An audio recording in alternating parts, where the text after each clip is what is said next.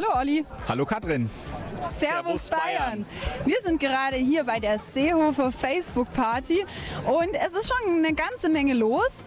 Wir warten ehrlich gesagt noch auf den äh, Parteivorsitzenden, aber die ganze Presse, die tummelt sich schon da hinter uns und äh, die warten alle natürlich auch ganz gespannt auf den Gastgeber.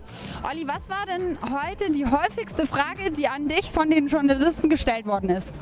Die häufigste Frage war eigentlich, steckt ihr als JU dahinter oder hat er die Idee selber gehabt? Und ich fand es eigentlich ganz cool, dass äh, die Presse davon ausgeht, dass das die JU sein muss, die auf so eine Idee kommt. Verraten wird allerdings natürlich nicht, wer ganz genau diese Idee hatte. Also ich war es nicht, zugegebenermaßen. Ich auch nicht. Naja, dann wird es für immer ein Geheimnis bleiben. Wichtig ist, dass es eine ganz coole Show heute wird und ich glaube, wir werden heute eine Menge Spaß haben, richtig? Davon gehe ich aus. Also es schaut hier alles ganz nett aus. Die Leute sind in bester Laune. Man sieht äh, wenig bekannte Gesichter, was dafür spricht, dass äh, die Zielgruppe erreicht wird und zwar außerhalb unserer Partei. Und das Wichtigste, bis jetzt habe ich auch noch niemanden gesehen draußen, der ansteht und nicht reinkommt. Das ist die gute Nachricht, denn wer Horst Seehofer heute persönlich kennenlernen will, hat offensichtlich die Möglichkeit dazu. Super. Dann gehen wir zwei jetzt mal rein, oder? Wir zwei gehen rein, machen uns einen schönen Abend und äh, hoffen, dass der Horst bald auftaucht. Alles klar. Bis dann. Servus. Servus.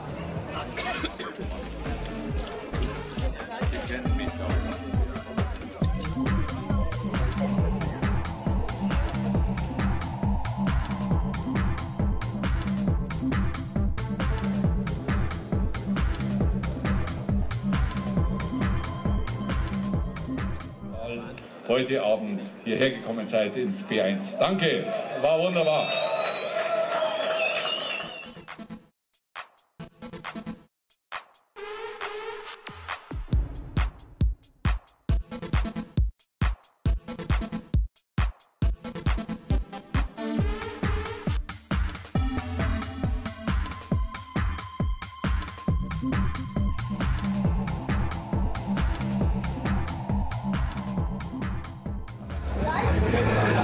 Die äh, erste Facebook-Party von äh, Horst Seehofer neigt sich jetzt so langsam dem Ende entgegen. Katrin, kannst du ein erstes Fazit ziehen? Nicht ein erstes Fazit, ein letztes Fazit. Das war großartig. Ich bin total begeistert von der Party. Es waren super Leute da. Wir hatten tolle Gespräche. Die Musik ist spitze, die Stimmung auch. Und ähm, jetzt haben wir es geschafft und es war einfach toll, aber so langsam bin ich auch ein bisschen müde. Äh, Stichwort müde. Es scheint so, als ob die meisten Leute hier kein Ende finden wollen. Ähm, Ministerpräsident war auch super lange da. Äh, ist das ein Vorbild für die nächsten Veranstaltungen, die die CSU so plant? Absolut. Also wenn es nach mir geht, könnten wir so eine Veranstaltung wie heute ruhig öfters machen. Zum Beispiel auch in der Fläche draußen. So haben wir es mit den Lounge in the City Partys auch schon gemacht. Ich glaube, das Format ist ein tolles und es kam auch wirklich gut an. Die anderen Parteien haben ja im Vorfeld Horrorszenarien gezeichnet, was hier alles aus dem Ruder laufen könnte und nicht funktionieren könnte.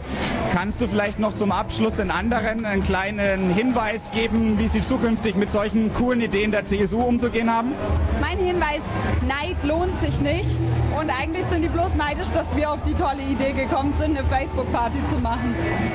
Mit diesen Worten würde ich sagen, verabschieden wir uns. Wir machen noch eine letzte Tour hier durchs P1, wünschen euch allen auch noch einen schönen Ausklang und wir denke, ich sehen uns nicht erst bei der nächsten Facebook-Party. Ganz sicher nicht. Bis bald. Servus. Ciao.